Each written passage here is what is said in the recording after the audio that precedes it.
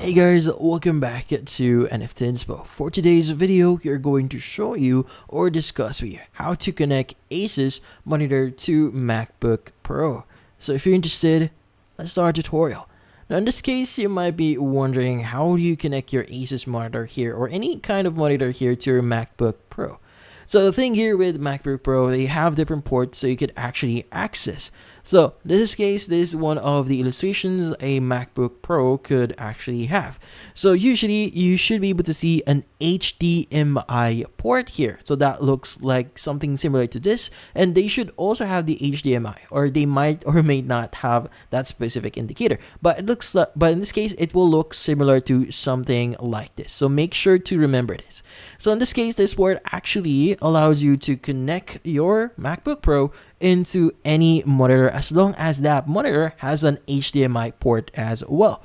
But for newer models for MacBook, or in this case, uh, your laptop, the uh, HDMI would sometimes not be there. So usually you might only have like a USB-C port that you could use for, in this case, connecting certain devices.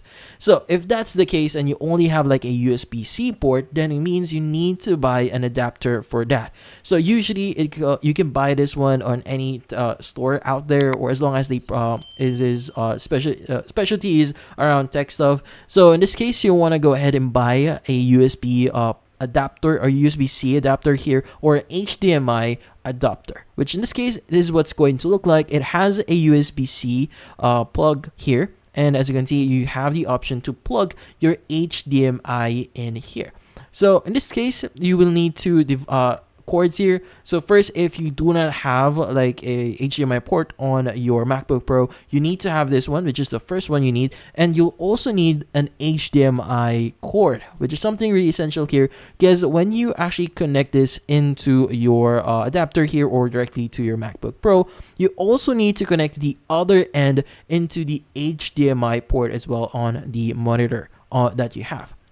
In this case, typically when you connect your uh, HDMI or once you connect these two wires together, automatically this will actually set up or connect your two devices and you should be able to view your screen on the actual monitor or Asus monitor that you have. But yeah, so connecting them is pretty simple, but you need to have some devices or some adapters needed for you to connect your MacBook Pro. But in this case, that's about it. So hopefully this video was able to help you. Like and subscribe to NFT Inspo. Thank you for watching.